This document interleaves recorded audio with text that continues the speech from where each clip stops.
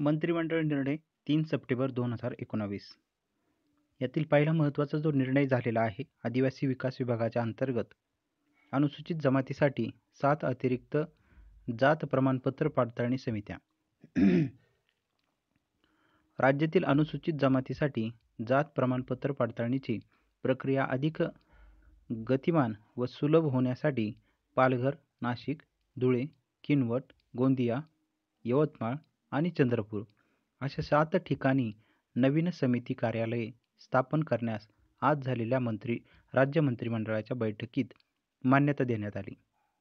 राज्यात महाराष्ट्र अनुसूचित जाती अनुसूचित जमाती विमुक्त जाती भटक्या जमाती इतर मागासवर्ग व विशेष मागास प्रवर्ग जातीचे प्रमाणपत्र देण्याचे व त्याच्या पडताळणीचे विनिमय अधिनियमन दोन हजार या अधिनियमाची अठरा ऑक्टोबर दोन हजार एकपासून अंमलबजावणी सुरू आहे.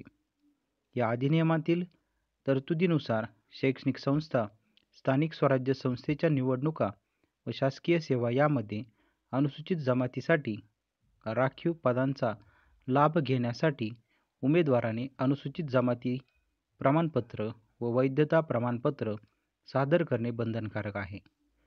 सर्वोच्च न्यायालयाने दिलेल्या निर्णयानुसार विविध व्यावसायिक अभ्यासक्रमासाठी राखीव जागांचा लाभ घेणाऱ्या उमेदवाराने प्रवेशाच्या वेळी त्याचे जात प्रमाणपत्र व वैधता प्रमाणपत्र सादर करणे आवश्यक आहे.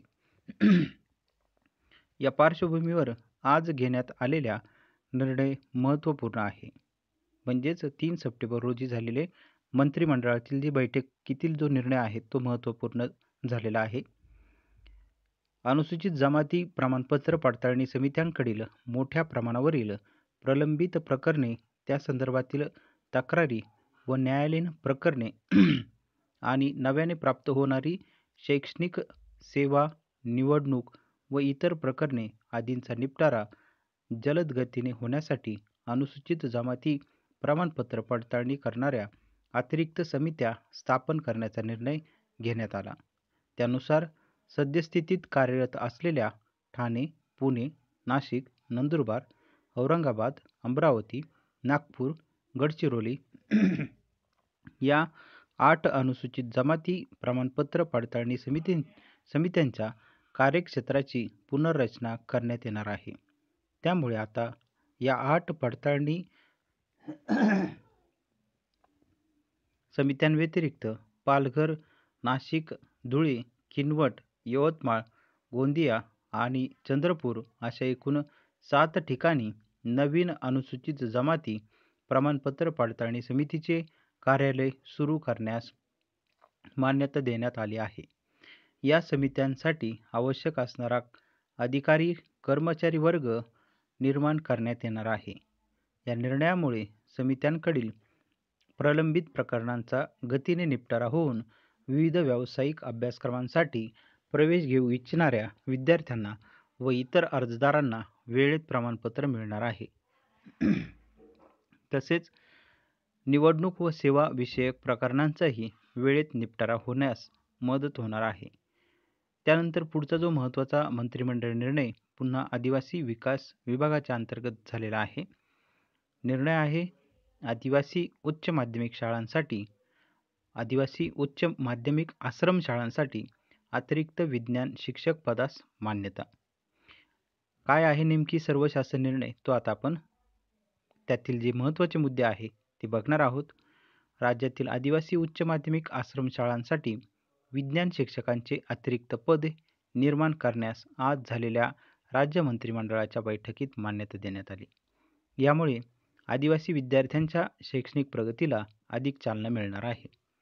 राज्यात आदिवासी विकास विभागाअंतर्गत पाचशे दोन शासकीय व पाचशे छप्पन अनुदानित आश्रमशाळा चालविण्यात येतात.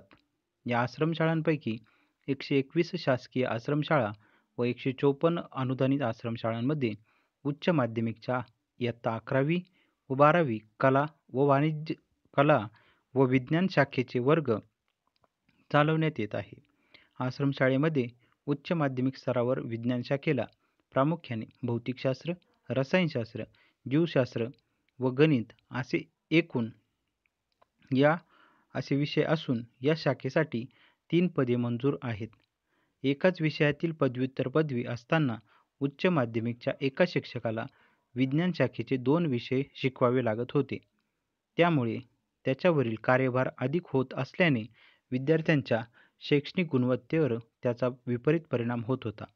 याचा विचार करून सुधारित आश्रमशाळा संहितेनुसार आकृतीबंधामध्ये सुधारणा करून विज्ञान शाखेसाठी चार शिक्षकांची तरतूद करण्याचा आज निर्णय घेण्यात आला. या निर्णयामुळे प्रत्येक विषयासाठी पदव्युत्तर पदवीधारक शिक्षक उपलब्ध होणार आहे.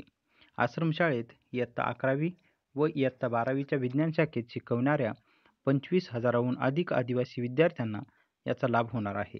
तसेच एन ई ई टी म्हणजेच नीट किंवा जे double E C E T व संबंधित परीक्षाद्वारे अभियांत्रिकी वैद्यकीय व अन्य व्यावसायिक अभ्यासक्रमांना प्रवेश मिळवण्यासाठीही फायदा होणार आहे. यापूर्वी आदिवासी विका आदिवासी विभागाअंतर्गत असलेल्या आश्रमशाळांपैकी दहा शासकीय मा दहा शासकीय माध्यमिक आश्रमशाळा आणि अकरावी अनुदानित माध्यमिक आश्रमशाळांना श्रेणीवाढ देऊन इयत्ता अकरावी व इयत्ता बारावीचे कला व विज्ञान शाखेचे वर्ग चालवण्यास मंजुरी देण्यात आली आहे. या आश्रमशाळा वगळून उर्वरित सर्व शासकीय व अनुदानित उच्च माध्यमिक आश्रमशाळांसाठी विज्ञान विषयाच्या शिक्षकाचे एक अतिरिक्त पद मंजूर करण्यास आज मान्यता देण्यात आली. त्यानुसार एकशे अकरा शासकीय उच्च माध्यमिक आश्रमशाळांसाठी एकशे अकरा पदे तसेच एकशे त्रेचाळीस अनुदानित उच्च माध्यमिक आश्रमशाळांसाठी एकशे त्रेचाळीस पदे असे एकूण दोनशे चोपन्न पदे निर्माण करण्यात येणार आहे. या उच्च माध्यमिक शिक्षकांची नियुक्ती नियमानुसार प्रशिक्षित पात्रताधारक उमेदवारांमधून तसेच शासनाने ठरवून दिलेल्या कार्यपद्धतीप्रमाणे करण्यात येणार आहे. भविष्यात उच्च माध्यमिक आश्रमशाळांना श्रेणीवाढ मिळाल्यास त्या शाळांमध्ये देखील गणित भौतिकशास्त्र रसायनशास्त्र जीवशास्त्र या प्रत्येक विषयासाठी शिक्षण विभागाच्या अस्तित्वात असलेल्या धोरणाप्रमाणे तीन ऐवजी चार विज्ञान शिक्षकांची पदे मंजूर करण्यासही मान्यता देण्यात आली.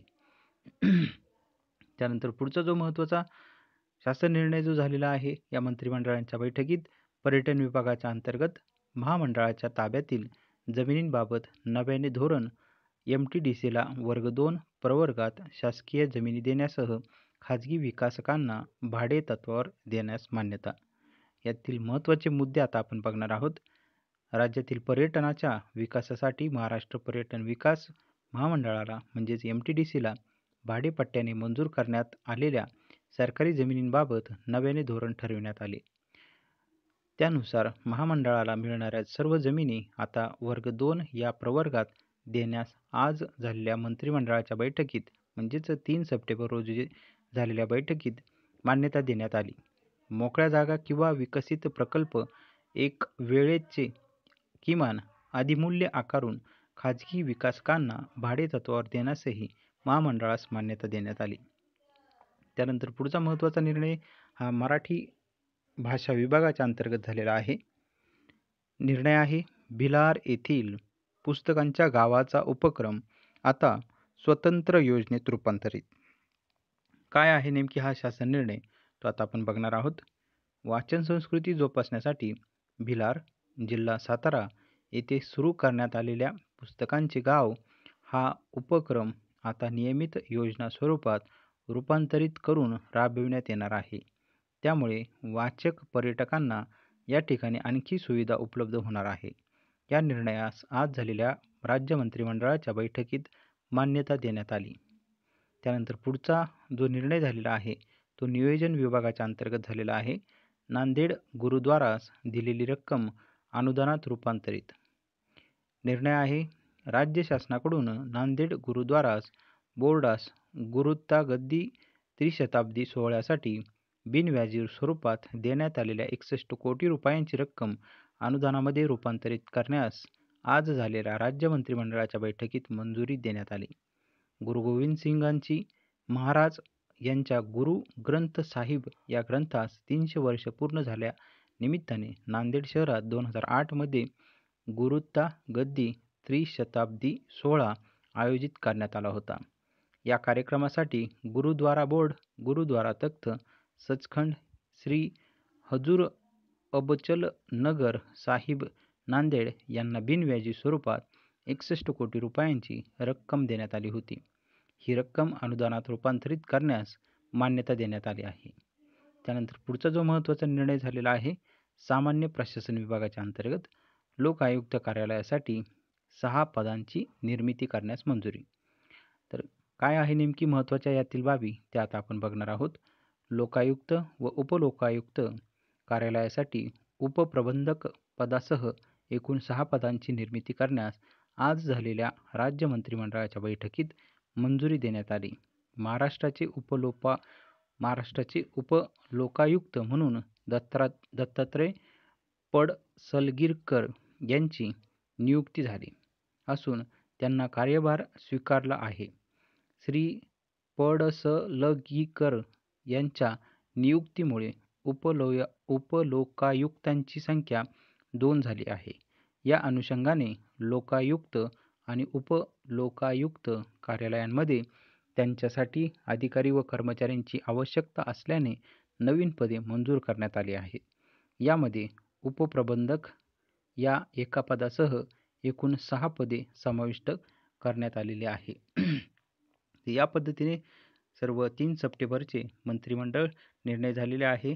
पण यातील सर्वात महत्त्वाचा जो जात पडताळणी प्रमाणपत्र अत्यंत जलद गतीने आता होणार आहे निश्चित जे काही विद्यार्थी आहे त्या विद्यार्थ्यांना बारावीनंतर इंजिनिअरिंग मेडिकल फार्मसीकरिता जे विद्यार्थी प्रवेशासाठी ते विद बऱ्याच वेळेस विद्यार्थ्यांना जे प्रलंबित प्रवेश प्रक्रियेमध्ये थांबावं लागतं तर तो त्रास हा होणार नाही विद्यार्थ्यांचा.